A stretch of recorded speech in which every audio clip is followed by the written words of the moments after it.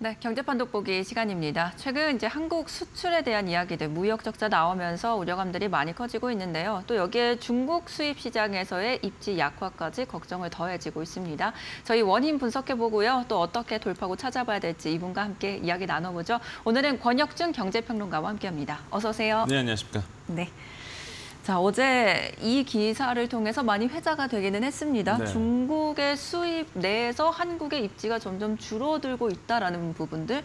그 원인을 저희가 어디서 찾아봐야 될까요? 일단 좀 통계 좀 보겠습니다. 음, 이제 한국 무역 협회에서 보고서란을 냈는데 한국의 중국 수입 시장 점유율 하락과 우리의 대응 방안이라는 보고서를 내면서 시장에서 좀 화제가 아, 되고 있습니다. 관심을 가진 이유가 금방 앵커님이 말씀하신 것처럼 어, 우리나라 수출의 25%를 담당하고 있는 중국 내에서 우리나라의 비중이 점점 축소되고 있다는 어, 이야기가 나오면서 사실 중국 쪽에 많이 수출을 의존하고 있는 기업들의 향배 아, 주가의 방향이 여기서 좀, 좀 갈릴 수 있기 때문에 관심을 가질 수밖에 없게 되는데 일단 지난해 중국 수입 시장 내에서 한국 점유율이요 봤더니 아세안이 14.7%, 대만이 9.4%, 이어서 이제 8%로 어, 조사가 됐습니다. 근데 이게 17년 대비해서 우리나라가 1.9% 포인트 정도 이제 떨어진 수치거든요. 근데 이게 왜 의미가 있냐면 중국과 미국의 사이가 좋지 않습니다. 근데 미국이 중국 수입 시장 점유율이 어, 1.7% 포인트 떨어졌는데 이거보다 우리가 더 떨어진 거죠. 그러니까 안 좋은 미국보다 우리가 이제 더 수입 수입 시장에서 점유율이 떨어진 걸 보면은 그만큼 이제 영향력을 좀 잃어가고 있다라고 볼 수가 있겠습니다. 품목별로 본다고는 메모리 반도체 쪽도 이제 보실 필요가 있겠는데 이게 17년도에 52.3%, 근데 지난해에는 44.9%로 이제 하락을 했습니다. 우리는 떨어졌는데 그 사이에 누가 치고 올- 올라왔느냐? 바로 대만이었거든요. 3.9%포인트 정도 상승을 하면서 우리가 내준 시장, 어, 대만 기업이 이제는 찾아가고 있다. 이렇게 좀 평가해 볼 수 있겠습니다. 무선통신기기도 마찬가지죠. 14.3%에서 어, 12.3%로 이제 떨어졌는데 이것도 마찬가지죠. 사실 제가 이렇게 콕콕 이렇게 품목별로 얘기하고 있는 부분 왜 그러냐면 아까도 말씀드렸지만은 어, 그만큼 우리나라의 수출이 25% 중국인데 이러한 품목별로 제가 떨어진 부분을 말씀드리면은 그만큼 수출이 안 되고 있다는 얘기거든요. 앞으로 장기적으로도 영향을 줄 수밖에 없고 그래서 이런 부분에 대해서 이제 무역협회가 이제 이야기를 하고 있는 것이죠. 특히 이제 중간재가 이제 큰 문제라고 보여지는데 일단 중국 같은 경우에서 이제 수출할 때 중간재가 좀 많이 줄어들고 있습니다. 우리나라는 거의 중국 수출할 때 수출 비중을 본다 그러면 80%가 다 중간재 수출이거든요. 근데 이거를 중국 내에서 자체적으로 해결하려고 노력하다 보니까 사실 이렇게 중간재 수출도 어, 수입 시장에서 우리나라의 비중도 떨어지고 있는 부분 이런 것들도 이제 눈에 목격되고 있다. 그래서 어, 이게 단기적으로 끝날 문제가 아니라 장기적으로 우리나라가 정책적으로 중국 시장의 비중을 어떻게 놀리, 늘릴 수 있을까에 대한 어떤 고민들이 좀 필요한 시기다라고 평가를 해보겠습니다. 음, 네. 그러니까 중국이 이제 자급제를 조금씩 늘려가면서 그 틈이 줄어들고 있는데 그 틈조차도 지금 우리가 타국가에게 뺏기고 있는 그런 상황들을 함께 설명을 해주신 것 같습니다. 자, 앞서서 품목별로 말씀을 해주셨는데 사실 우리가 가장 눈에 이제 띄는 것은 반도체 쪽이 아닐까 싶어요. 계속해서 대만과 좀 비교가 되고 있는 상황인데 심지어 그 부분에서 대만에게 이제 비중을 좀 어, 내줬다라는 부분들이 가장 이제 좀 신경이 쓰이는 것 같습니다. 어떻게 분석하세요? 네, 맞습니다. 뭐 우리가 반도체의 영향력은 좀 떨어지고 있는 사이에 이제 대만 기업이 중국의 영향력을 크게 늘리고 있는 상황이라고 보시면 되겠고요. 어, 사실 뭐 우리가 왜 떨어지냐 원인 분석을 해본다 그러면 사실 대만이 잘했기 때문에 사실 뭐 다른 기업들이 다른 나라들이 잘했기 때문이라고 볼 수가 있겠고요. 무엇보다 이제 중국의 어떤 반도체의 생태계 변화가 좀 있었죠. 대표적으로 이제 중국 나라 중국 같은 경우는 자국 내 뭐 반도체 굵기 이런 말이 나올 정도로 자체 산업을 키우려고 노력을 했고 했었고 무엇보다 그 연장선에서 해외 기업들의 투자 유치를 많이 했었습니다. 특히 우리나라의 이런 중소형 반도체 기업들도 중국 시장에 진출을 하면서 그러니까 중국 시장 내에서 반도체를 만들려고 지금 노력을 하고 있거든요. 그러다 보니까 우리나라의 비중이 이제는 수출 비중 이게 또 중국 내부에서 본다 그러면 수입 비중이겠지만은 중국 내에 있는 수입 비중에서 우리나라의 반도체 수출 물량이 줄어들 수밖에 없는 상황으로 지금 가고 있습니다. 그래서 제가 아까 이게 단기적인 문제가 아니라 장기적인 문제라고 봤던 뷰가 바로 이런 거거든요. 그래서 중국이 정책적으로 반도체를 키우고 있는 상황이기 때문에 우리나라도 하루빨리 어, 정부 내에서 또한 음, 사실 뭐 속, 솔직히 털어놓으면 미국과의 정말로 좋은 관계 개선을 통해서 이런 어떤 탈출구를 뚫어내야 된다라고 좀 생각해 볼 수가 있겠습니다. 네. 그러니까 사실 그 TSMC가 계속 이제 앞서 나가면서 뭐 이제 GDP까지도 역전을 당할 수 있다라는 아, 이야기들이 계속해서 나오기는 했었어요. 하지만 이제 우리가 기대해 볼 수 있는 부분들은 윤석열 정부가 이제 반도체를 굉장히 집중적으로 육성을 하고 있다라는 점, 네. 또 미국과의 협력 말씀해 주신 것처럼 네. 그게 또 하나의 돌파구가 될지 이 부분을 함께 체크를 해 보시면서 확인을 해 보시는 게 중요할 것 같습니다. 자, 그리고 반도체도 굉장히 중요하기는 한데 요즘에 전기차 배터리 쪽에서도 중국의 이야기 들이 스물스물 굉장히 네. 많이 나오고 있습니다. 저희 우선 전기차 이야기부터 할게요. 아, 우리나라가 굉장히 수출 많이 하고 해외에서 판매량 많다 이렇게 많이 네. 들어왔는데 막상 다른 나라랑 비교를 해보니까 중국이나 유럽 쪽이 조금 더 잘하고 있는 것 네. 같다는 느낌이 들어요. 저희 그렇게 되게 된 원인과 배경을 어디서 찾아볼 수 있을까요? 일단 또 정경련 자료를 좀 보겠습니다. 이게 정경련이 어제였죠. 이제 보고서 하나를 냈어요. 거기서 이제는 전기차 시장에 대해서 이제 현황에 대해서 브리핑을 했었는데 21년도 기준 전기차 5대 수출국이 있습니다. 그뭐 이미 아시겠지만 독일, 벨기에, 뭐 중국, 미국, 우리나라 아, 이렇게 볼 수가 있겠는데 이런 세계 수출 시장 점유율이 2020년 대비해서 중국이 9. 5%포인트 정도 상승을 했고요. 독일이 3.8%포인트 정도 상승한 반면에 뭐 벨기에라든지 아니면 우리나라라든지 미국은 이제 하락을 했습니다. 미국은 크게 하락했어요. 한 8.5%포인트 정도 하락을 했기 때문에 어, 점유율을 계속 뺏기고 있는 상황이다라 보시면 되겠고 우리나라도 소폭 감소한 부분이 있겠습니다.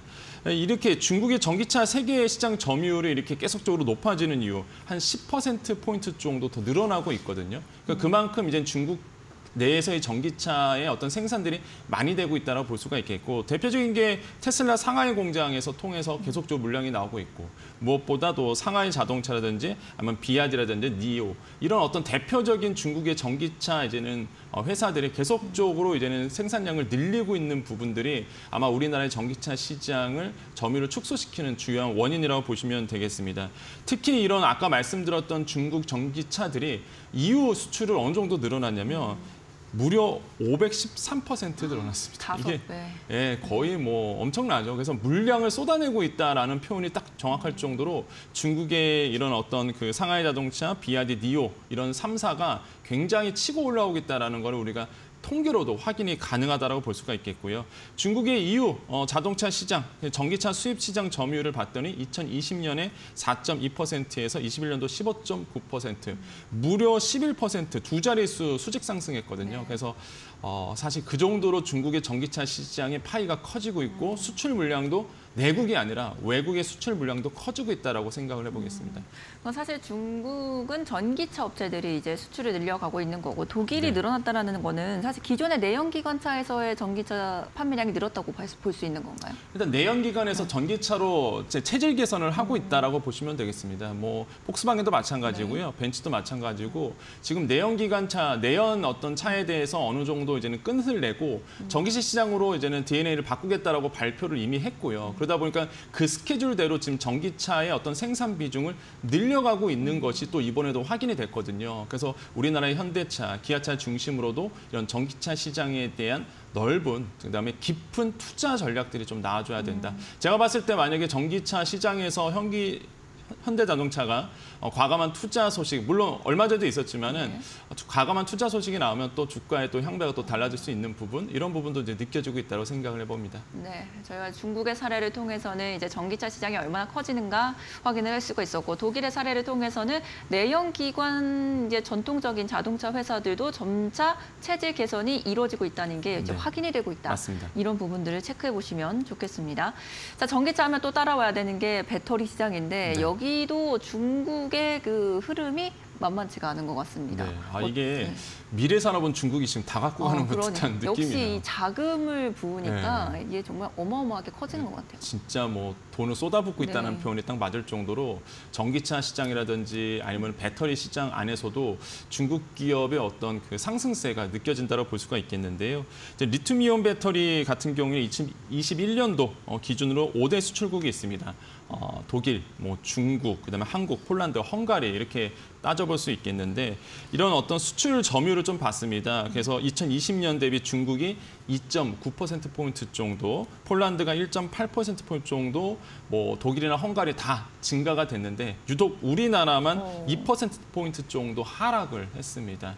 그러니까 이런 것을 본다 그러면 이제 중국 전기 배터리 시장 아니면은 중국 그 배터리를 만들 수 있는 회사들을 보셔야 되는데 대표적으로 이제 닝더스다이죠. 우리가 흔히 영어로 그냥 CATL이라고 부르는 이런 닝더스다이, 닝더스다이라든지 비아디 그다음에 이런 중국 기업의 배터리 시장 점유율을 좀 볼 필요가 있겠는데 지금 봤을 때 2020년 38점 4%에서 21년도에는 48.7% 그러니까 10% 정도 더 늘어났어요. 근데 사실 뭐 배터리에 관심 있는 분들 아시겠지만 중국 전기차 배터리 기업들이 점유율 늘린다. 사실 그렇게 큰 의미를 두지는 않습니다. 왜냐하면 자국 내에서 늘어난 거고요. 최대 시장이 또 중국이다 보니까 자국 거를 밀어주거든요.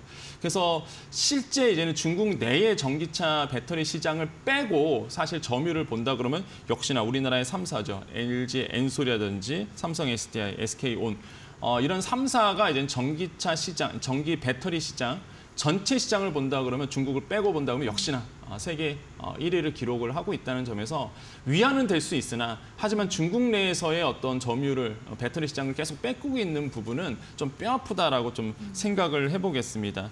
사실 이렇게 본다 그러면 우리나라의 정책적인 어떤 흐름들이 좀 달라져야 된다라고 볼 수가 있겠는데 중국은 이미 아까 앵커님 말씀하신 것처럼 이제 전기차 배터리 시장에 돈을 자금을 쏟아붓고 있는 상황이 아, 나오고 있습니다. 그래서 계속적으로 세계 1위 중국 시장까지 포함한다면 1위를 차지하고 있는데 우리나라도 그만큼 이제 투자가 이루어져야 된다라고 이제 볼 수가 있겠고 그래서 지금 배터리 쪽 업계에서는 어, 이런 새로운 정부 윤석열 정부 쪽에서 이제 미래지향적인 어떤 투자적인 정책들이 좀 나와줘야 된다. 한마디로 어, 기업들이 조금 활발하게 움직일 수 있도록 세제 혜택에 대한 부분들을 더 늘려줄 필요가 있다라는 어, 목소리가 지금 일각에서 나오고 있습니다. 음, 네.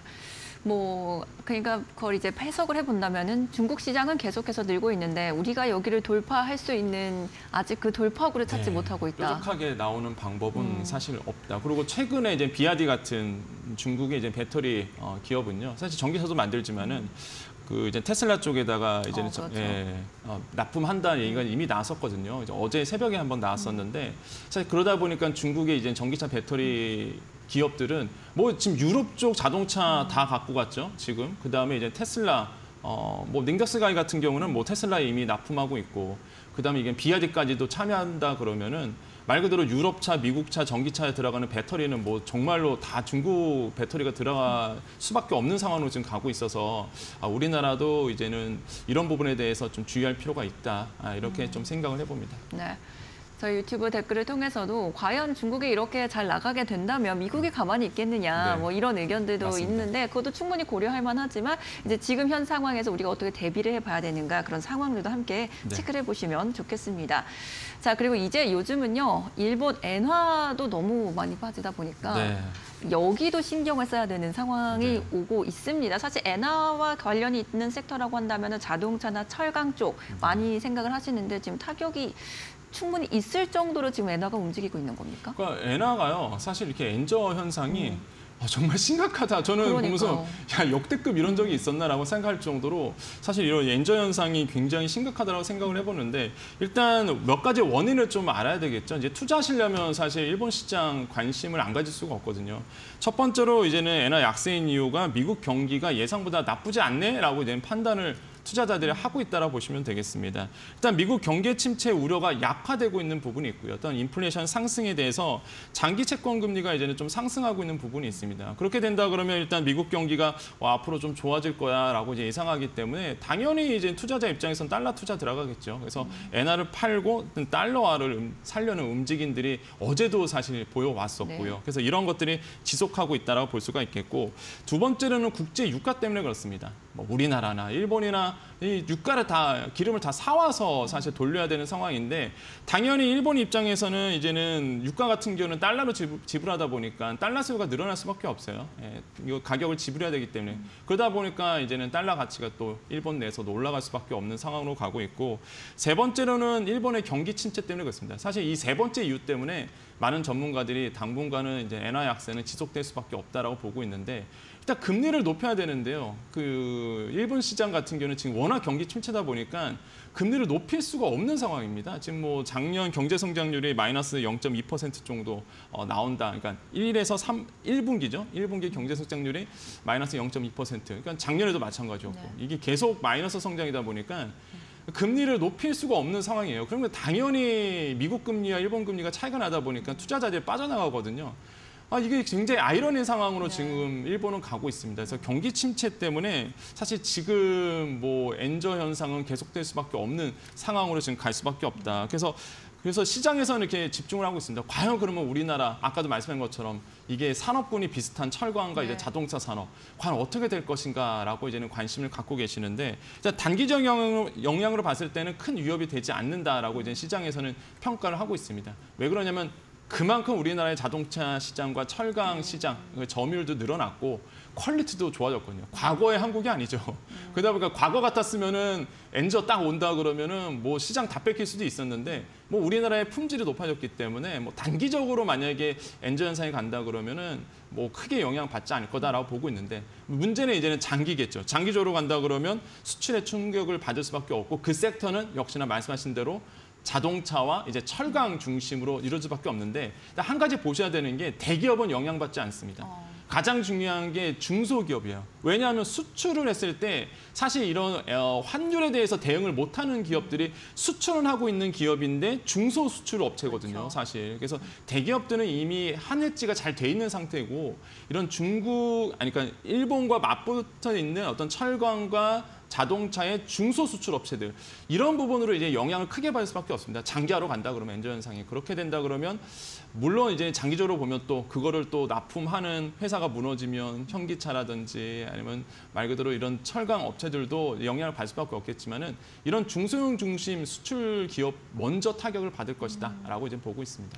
우선은 타격 자체는 크지 않겠지만 왜냐하면 이제는 가격 경쟁력을 하는 그런 맞습니다. 수준은 넘어섰기 때문에 하지만 충격이 있다라면은 중소형 쪽에 나타날 것이다라는 이야기였습니다.